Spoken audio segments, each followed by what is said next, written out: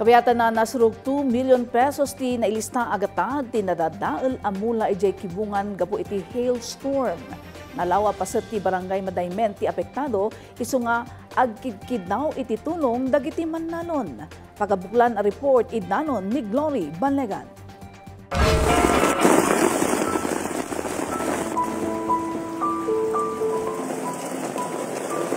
Inaldaw nga ikagagumaan dagiti manalon ang mapasaya at dagiti mulada tapno mailako mat iti napimpintas a presyo iti merkado.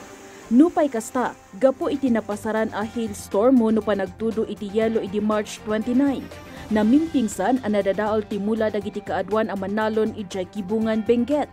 May sa dito iti pamilya Ablos adikadan ang manalon ijay barangay Madayman parang second time na nangyari yung ganitong hailstorm na talagang nasira lahat ng mga pananim. Tapos ang lalaki kasi parang mas malaki pa sa sago. Parang pebbles yung ibang tipo ng hailstorm.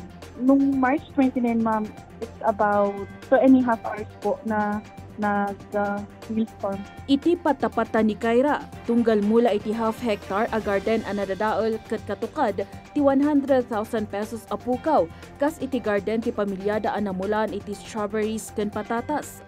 Dagiti bunga dagiti strawberries, saanen a mabalin a maapit ken mailako, bayat a dagiti sabong nadadaolan ken saanen nga agbalin a bunga. Dagiti patatas nga ada iti growing stage, natuktukol ken nadadaol dagiti bulongda. Saanen asigurado ti panagrecover dagitoy. Dagiti repolyo, nagbalinen a second class dagiti mailako kuma a first class. Iti baat daytoy, adalata dagiti manalon ang mangikagkagumaan ang mangisimpaka dagiti mulada. We're just hoping and praying na sana makarecover yung mga tanim namin tapos yung sa mga nag-harvest, yung mga maka-harvest pa is kailangan talaga namin ng tulong kasi yung iba, hindi na namin alam gagawin namin in the future, especially sa mga nag-loan din. Sigunmat kanikibungan Mayor Cesar Mulitas, mapatapata adumanon iti 2.5 million pesos tigata dagiti nadadawal amula iti masakupan na ang munisipyo. Kaadwan kadagitoy kat strawberry, repolyo kan patatas. Kakaruan ang nakapasar iti hailstorm kat ijay barangay Madayman manarimaan ti panang urnong da iti report dagiti apektado a manalon iti tulong dagiti barangay officials para iti panakaipaay ti kaskanan at tulong manipod iti lokal a gobyerno ken iti Department of Agriculture.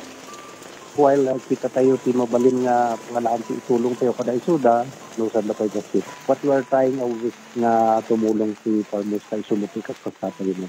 Sumulumot si sibungan ket basit nga talaga ti pundo tayo iso nga nuadalang ti tagapasit iso ti maitulong tayo nga iso ko pay mutaan nga makatulong kada isuda. Kalpasan ang maisumitir ken maornong iti municipal government ti damage report maisumitir mat daytoy iti provincial agriculture office ken iti department of agriculture para iti panakaipaay ti kaskanan at tulong.